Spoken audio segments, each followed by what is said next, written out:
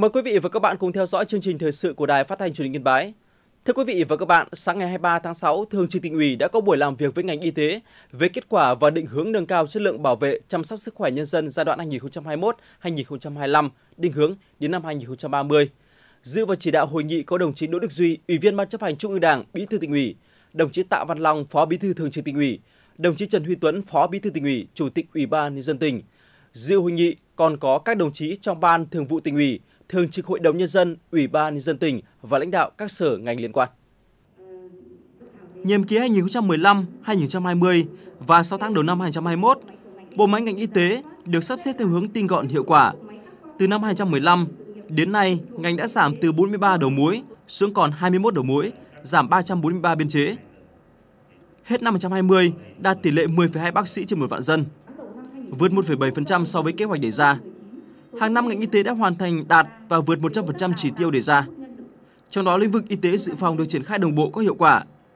Công tác phòng chống bệnh truyền nhiễm được triển khai, hệ thống giám sát dịch tiếp tục được củng cố từ tỉnh đến cơ sở. Dịch bệnh ổn định, không có dịch lớn xảy ra, các ổ dịch nhỏ dài rác được kiểm soát và khống chế kịp thời. Năm 2019, tỉnh Yên Bái đạt tiêu chuẩn loại trừ bệnh sốt rét, tỷ lệ mắc lao trên dân số thuộc nhóm thấp nhất toàn quốc. Số người nhiễm HIV được phát hiện hàng năm giảm dần. Năm 2020 khi đại dịch Covid-19 xảy ra, ngành y tế tỉnh Yên Bái đã nỗ lực thực hiện tốt vai trò tham mưu và tổ chức thực hiện công tác phòng chống dịch bệnh Covid-19 trên địa bàn tỉnh. Cùng với đó, tỷ lệ tiêm chủng cho trẻ dưới 1 tuổi hàng năm luôn đạt 98,5% trở lên. Chương trình tiêm chủng mở rộng tiếp tục góp phần bảo vệ thành quả thanh toán bệnh bại liệt, loại trừ uốn ván sơ sinh, kiểm soát và khống chế bệnh lao, bạch hầu, ho gà, viêm gan B, sởi, viêm phổi. Trong những năm qua, ngành y tế đã đổi mới nâng cao chất lượng khám chữa bệnh, xây dựng bệnh viện xanh, sạch, đẹp, an toàn, văn minh, triển khai áp dụng thêm nhiều kỹ thuật mới. Chất lượng các dịch vụ được nâng lên, tinh thần thái độ phục vụ của nhân viên y tế đã có bước chuyển căn bản hướng tới sự hài lòng của người bệnh. Năm 2017, có hai cơ sở được nâng hạng cùng bệnh viện đa khoa tỉnh lên hạng 1. Trung tâm y tế huyện Văn Yên lên hạng 2. Năm 2021 có tổng số 2.560 giường bệnh công lập, công suất giường bệnh bình quân của các tuyến đạt 96,4%. Chất lượng bệnh viện theo Bộ Tiêu chí chất lượng bệnh viện của Bộ Y tế tăng dần hàng năm. Ngoài ra, tỉnh Yên Bái duy trì giảm sinh ở mức 0,2 phần nghìn. Tình hình ngộ độc thực phẩm giảm dần cả về số vụ, số người mắc, số người tử vong. Hệ thống y tế tuyến xã được nâng cao về chất lượng. Thảo luận tại hội nghị, các đại biểu đã chỉ ra những thuận lợi khó khăn trong công tác khám chữa bệnh, chăm sóc sức khỏe người dân trên địa bàn toàn tỉnh thời gian qua. Đồng thời đề xuất kiến nghị với thường trực tỉnh ủy một số vấn đề như bổ sung thêm nguồn nhân lực, đặc biệt là các bác sĩ tại các huyện vùng cao và các trạm y tế tuyến xã tăng cường thêm cơ sở vật chất, phương tiện, trang thiết bị y tế, đầu tư thêm các trang thiết bị hiện đại, chuyên sâu để triển khai các kỹ thuật cao, kỹ thuật mới, trang thiết bị phục vụ cho đơn vị hồi sức tích cực để điều trị bệnh nhân COVID-19 nặng. Thông tin tiếp theo về chương trình làm việc của Thường trực tỉnh ủy với ngành y tế chúng tôi sẽ tiếp tục cập nhật trong các bản tin thời sự tiếp theo. Mời quý vị và các bạn chú ý theo dõi. Ngày 22 tháng 6, Hội đồng Nhân dân thị xã Nghĩa Lộ khóa 15, nhiệm kỳ 2021-2026 đã tổ chức kỳ họp thứ nhất bầu các chức danh chủ chốt. Với số phiếu tín nhiệm cao, đồng chí Lê Chí Hà, Bí thư thị ủy Nghĩa Lộ được bầu giữ chức danh Chủ tịch Hội đồng nhân dân thị xã Nghĩa Lộ. Đồng chí Hà Thị Xuân Lan giữ chức Phó Chủ tịch Hội đồng nhân dân. Đồng chí Đỗ Thị Thanh Nga, Phó Bí thư Chủ tịch Ủy ban nhân dân thị xã được bầu giữ chức Chủ tịch Ủy ban nhân dân thị xã. Đồng chí Lương Mạnh Hà và đồng chí Vũ Đức Trung được bầu giữ chức Phó Chủ tịch Ủy ban nhân dân thị xã Nghĩa Lộ khóa 15, nhiệm kỳ 2021-2026. Tại kỳ họp này, Hội đồng Nhân dân thị xã Nghĩa Lộ cũng thông qua báo cáo của Ủy ban Mặt trận Tổ quốc thị xã về tổng hợp những ý kiến kiến nghị của cử tri tại các cuộc tiếp xúc giữa những người ứng cử đại biểu Hội đồng Nhân dân các cấp nhiệm kỳ 2021-2026. Tờ trình dự thảo nghị quyết về kế hoạch tổ chức các kỳ họp thường lệ của Hội đồng Nhân dân thị xã Nghĩa Lộ khóa 15 năm 2021, nghị quyết của Thường trực Hội đồng Nhân dân về thành lập các tổ đại biểu. Sáng ngày 23 tháng 6, Đảng ủy khối cơ quan và doanh nghiệp tỉnh Yên Bái tổ chức hai lớp tập huấn nghiệp vụ, công tác kiểm tra giám sát và thi hành kỷ luật Đảng cho các phó bí thư các chi bộ cơ sở trực thuộc Đảng ủy khối, chủ nhiệm, phó chủ nhiệm, ủy viên ủy ban kiểm tra Đảng ủy cơ sở, cán bộ cơ quan chuyên trách Đảng ủy khối. Trong thời gian một ngày, các học viên được học tập 4 chuyên đề về công tác kiểm tra giám sát của Đảng, những vấn đề cơ bản về thẩm tra xác minh trong công tác kiểm tra và kỷ luật của Đảng, giải quyết tố cáo đối với tổ chức Đảng và đảng viên và chuyên đề kỷ luật của Đảng, việc thi hành kỷ luật trong Đảng và giải quyết khiếu nại kỷ luật Đảng. Tham gia lớp tập huấn, các học viên còn được tìm hiểu nghiệp vụ công tác kiểm tra giám sát thi hành kỷ luật Đảng, việc thi hành kỷ luật trong Đảng. Qua lớp tập huấn đã giúp các học viên tiếp thu, cập nhật và nâng cao kiến thức kỹ năng nghiệp vụ về công tác kiểm tra giám sát và thi hành kỷ luật, vận dụng xử lý các tình huống trong thực tiễn, đáp ứng ngày càng tốt hơn yêu cầu nhiệm vụ ở địa phương. Thưa quý vị và các bạn, có thể thấy trước khi nào người chăn nuôi thường xuyên phải đối mặt với những rủi ro như trong những năm gần đây. Câu chuyện được múa mất giá cứ lặp đi lặp lại khiến người chăn nuôi lợn điêu đứng. Chưa kịp vực dậy sau hơn một năm cơn bão dịch tả lợn châu Phi hoành hành, thì giờ đây người chăn nuôi lợn lại phải đối mặt với một nỗi lo khác là giá lợn hơi giảm sâu trong khi chi phí đầu vào trong chăn nuôi lại tăng cao. Ghi nhận của phóng viên chương trình tại huyện Trấn Yên. Với quy mô chuồng trại khép kín như hiện nay, hộ anh Đào Quang Hiệu ở thôn Đồng Quýt, xã Bảo Hưng, huyện Trấn Yên có thể nuôi tối đa lên đến 100 con lợn nái, 400 con lợn thịt như các lứa trước. Nhưng hiện tại do chi phí đầu vào trong chăn nuôi, đặc biệt là giá cám tăng liên tục đến 8 lần từ đầu năm đến nay. Hiện mỗi bao đã tăng lên từ 60 đến 100 nghìn đồng, khiến anh Hiệu phải thu hẹp quy mô chăn nuôi xuống còn 30 con lợn thịt và nửa số lợn nái đã cắt giảm chi phí, hạn chế rủi ro. Theo cách tính của anh Hiệu và nhiều hộ chăn nuôi khác thì với giá cám hiện nay, nhiều hộ nuôi càng nhiều thì nguy cơ thua lỗ càng cao.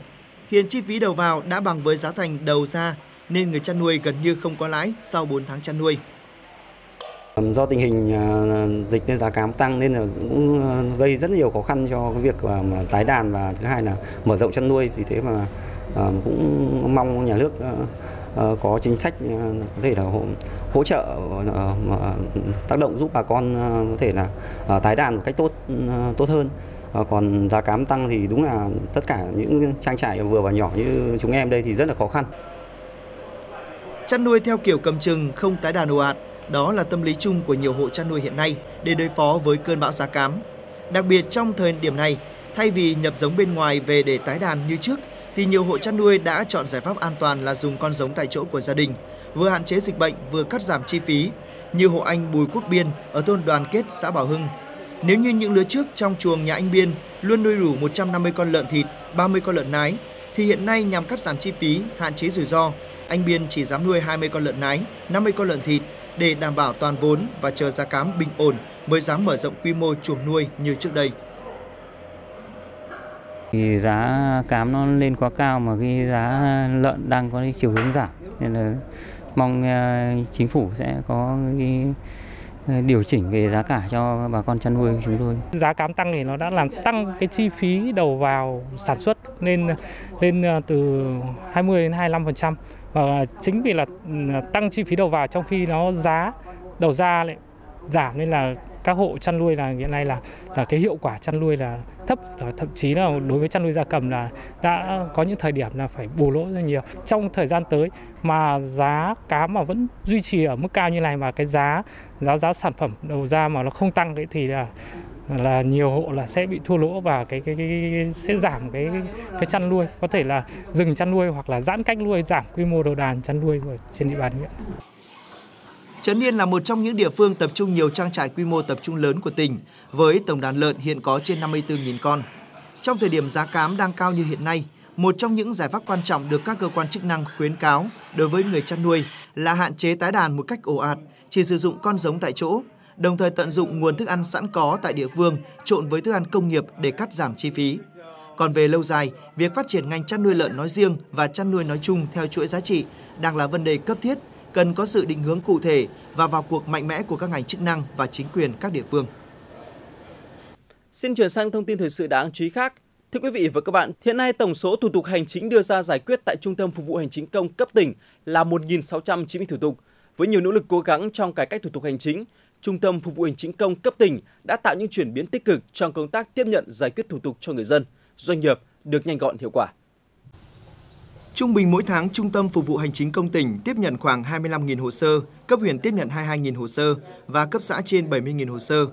Tỷ lệ giải quyết hồ sơ đúng và trước hạn ở cả ba cấp đều đạt trên 99%. Tỷ lệ người dân đánh giá hài lòng và rất hài lòng luôn đạt 100%. Thời gian tới, Trung tâm Phục vụ Hành chính công cấp tỉnh sẽ kiểm soát chặt chẽ quy trình giải quyết thủ tục hành chính, tăng cường việc công khai minh bạch trong giải quyết thủ tục hành chính, nâng cao tinh thần thái độ phục vụ người dân và doanh nghiệp, đẩy nhanh việc tiếp nhận và giải quyết hồ sơ lên mức độ 3-4. Thưa quý vị và các bạn, với địa hình chia cắt, nhiều đồi núi và khe suối, nên huyện Văn Yên thường chịu ảnh hưởng của lũ quét, sạt lở đất, gây nhiều thiệt hại về người và tài sản của người dân. Phản ánh của phóng viên thời sự. Do địa hình đồi núi có nhiều dòng suối và sông Hồng chảy qua, do vậy vào mùa mưa hàng năm, xã Châu Quế Hạ đều bị ngập úng, sạt lở đất, gây thiệt hại hoa màu tài sản cũng như tính mạng của người dân. Sống ở gần Ta Luy, gia đình ông Nguyễn Quang Tích ở thôn Khe Pháo, xã Châu Quế Hạ, huyện Văn Yên luôn có nguy cơ sạt lở, dù đã san gạt giật cấp để đảm bảo an toàn cho gia đình. Vào khoảng 11 giờ ngày 14 tháng 6 vừa qua, mặc dù trời không mưa, nhưng hàng chục mét khối đất ta luy phía sau nhà ông Tích bất ngờ sập xuống, đã cướp đi tính mạng của vợ ông. Chúng tôi cũng đến tận nhà để hướng dẫn, nhắc nhở trong cái việc à, đảm bảo cái nơi ở an toàn. Còn đối với những khu vực mà có nguy cơ cao về lũ ống, lũ quét rồi ngập úng thì chúng tôi cũng thường xuyên lên các cái phương án trong kế hoạch phòng chống thiên tai hàng năm để cảnh báo, để nhắc nhở cho người dân và sẵn sàng các cái phương pháp ứng trực à, để không xảy ra những à, tai nạn đáng tiếc. Chúng tôi xác định rằng trong công tác phòng chống thiên tai, tìm kiếm cứu nạn trên địa bàn xã Châu Quế Hạ hiện nay thì khó khăn lớn nhất có lẽ là địa bàn xã rất rộng và chủ yếu là đồi núi. Trong khi ờ, về mặt năng lực trong công tác chỉ đạo chỉ huy phòng chống thiên tai cũng vẫn còn đối với cấp xã và cấp thôn chúng tôi vẫn còn hạn chế trong tác ờ, chỉ huy và thứ hai nữa là về phương tiện rồi các cái điều kiện cho ban chỉ huy phòng chống thiên tai hoạt động mà chúng tôi thì cũng vẫn còn gặp nhiều khó khăn. Là xã vùng thấp của huyện Văn Yên, có sông Hồng chảy qua trên địa bàn xã Yên Phú còn có suối Ngòi Thia.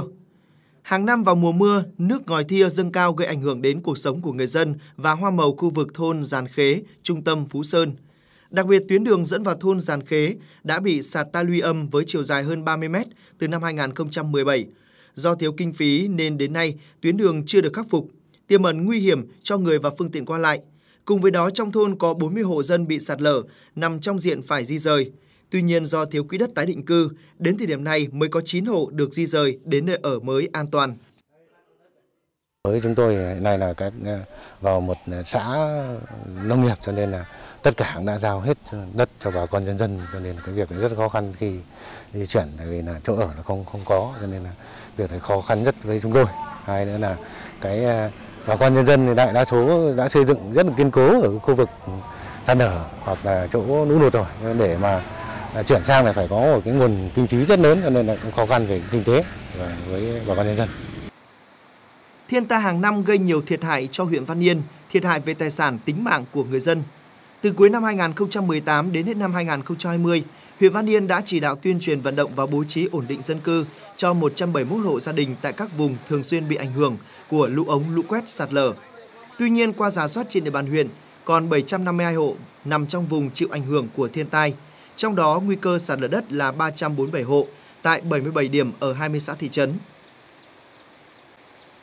Có lẽ là cũng vẫn là cái gọi là ý thức của người dân. Thì chúng tôi vẫn đẩy mạnh công tác tuyên truyền nhưng cũng có một số bà con còn chưa lường hết được những cái cái nguy cơ. Ví dụ như trường hợp cái hộ uh, vừa rồi mà thiệt hại về người thì cũng không không được hết những cái nguy cơ đó. Mặc dù đã được cảnh báo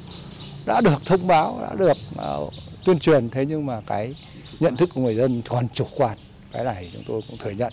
Hoặc là những cái đợt thiên tai mà đối với cái cái loại hình thiên tai chủ yếu trên địa bàn huyện vẫn là à, mưa lũ sạt lở lũ ống lũ quét thì cái việc người dân nhân dân thì sống quen với lại cái cái điều kiện đó thì cũng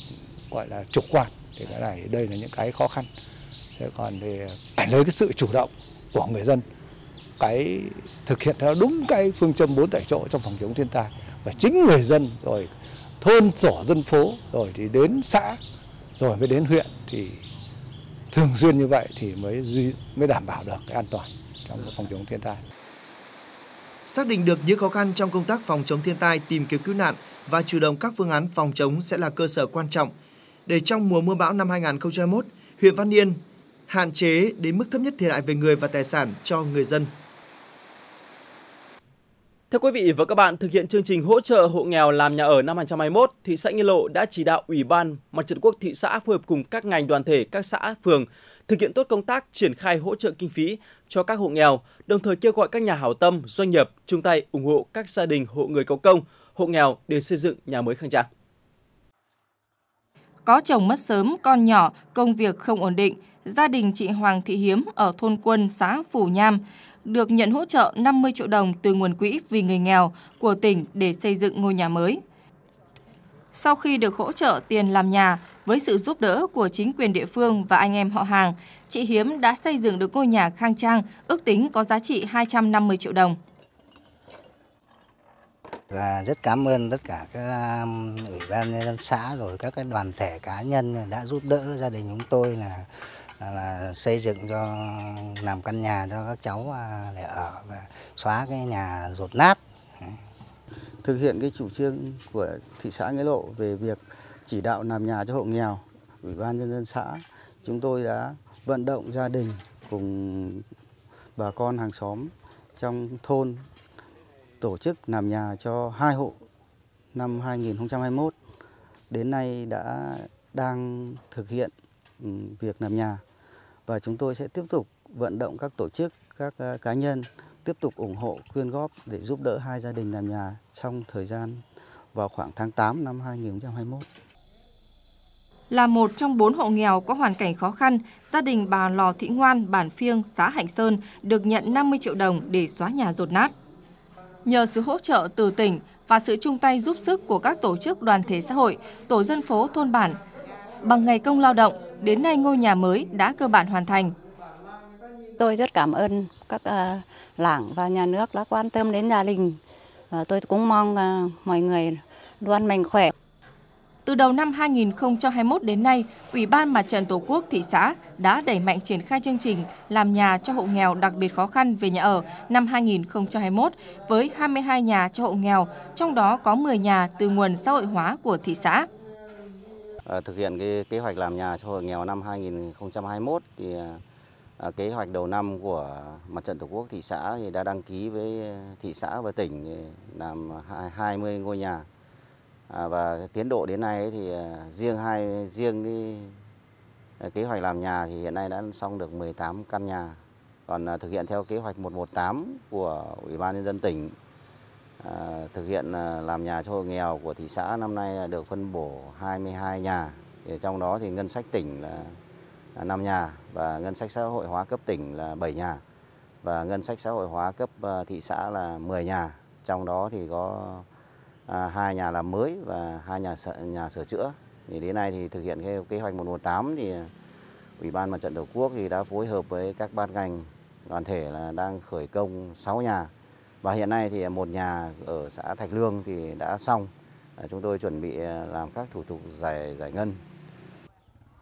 Việc triển khai xây dựng nhà ở cho hộ nghèo trên địa bàn thị xã Nghĩa Lộ đã thể hiện sự chung tay vào cuộc của các cấp, các ngành của tỉnh và thị xã Nghĩa Lộ trong công tác xóa đói giảm nghèo. Qua đó giúp các hộ nghèo, hộ có hoàn cảnh khó khăn về nhà ở có được nơi ở mới kiên cố vững chãi, tiếp thêm động lực cho các hộ nghèo vươn lên trong cuộc sống.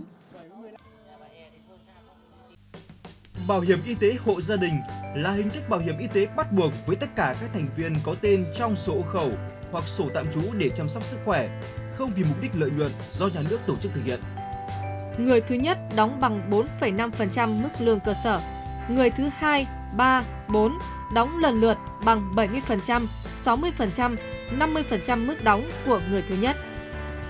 Từ người thứ năm trở đi, đóng bằng 40% mức đóng của người thứ nhất. Tuân theo nguyên tắc chung về việc đóng hưởng bảo hiểm y tế theo Điều 14 Nghị định số 146 của Chính phủ khi đi khám chữa bệnh, người tham gia bảo hiểm y tế hộ gia đình được hưởng. Được thanh toán nếu khám chữa bệnh đúng tuyến, 100% chi phí khám chữa bệnh tại tuyến xã, 100% chi phí khám chữa bệnh trong trường hợp chi phí cho một lần khám chữa bệnh thấp hơn 15% mức lương cơ sở, tức là thấp hơn 223.500 đồng mỗi lần. 100% chi phí khám chữa bệnh khi người bệnh có thời gian tham gia bảo hiểm y tế 5 năm liên tục trở lên và có số tiền cùng chi trả chi phí khám chữa bệnh trong năm lớn hơn 6 tháng lương cơ sở, tức là lớn hơn 8,94 triệu đồng. 80% chi phí khám chữa bệnh với những trường hợp còn lại. Được thanh toán nếu khám chữa bệnh trái tuyến. 40% chi phí điều trị nội trú tại bệnh viện tuyến trung ương. 100% chi phí điều trị nội trú tại bệnh viện tuyến tỉnh. 100% chi phí khám chữa bệnh tại bệnh viện tuyến huyện.